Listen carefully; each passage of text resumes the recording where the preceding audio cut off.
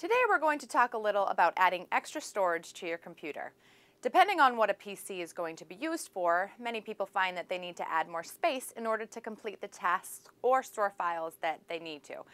This can be achieved either by purchasing an external device that can be connected through an external port or by installing a new drive directly to the computer itself.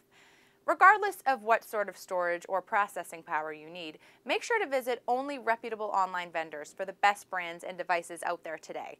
Thanks for watching and stay tuned for more.